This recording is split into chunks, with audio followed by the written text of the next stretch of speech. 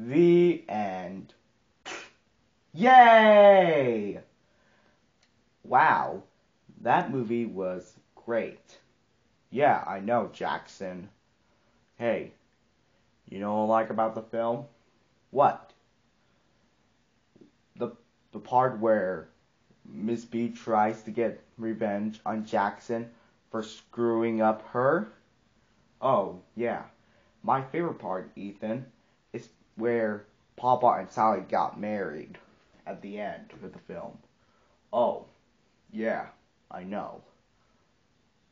And was a trio musical. Yeah, I know. you know what? I'm gonna go home because I'm tired. Okay, Jaxson. We'll see you tomorrow. Bye, Ethan. Bye, guys. Bye. So, do you have a great time today, son? Yeah, Dad.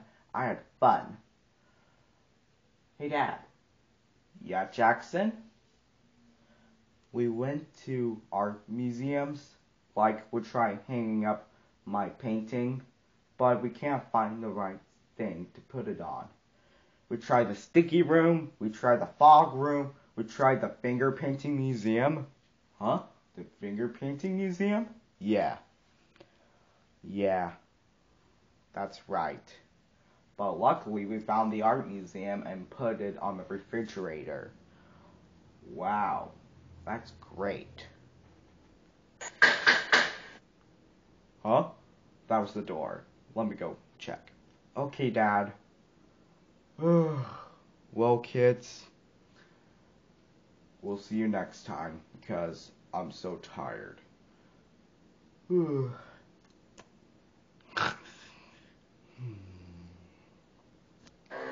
could that be at this time of night? Hello? Hey, is this kid yours? Uh, no, that's not my kid. Me and my wife, Sally, had only one kid. His name was Jaxson and he is sleeping like a good kid. Oh, right. Alright, kid, you're coming with me. You're going to be in jail for a long, long, long time. Wait. Huh? What? How long is he stealing in jail? Uh, nine months? Oh, okay then. Hey son, can you believe some hooligan at the door tried to make me think he was you? I mean, really, I know my son. Uh, lucky me, I have eyes like an earthworm. I can see anything. Nothing can get past me. uh, Jaxson?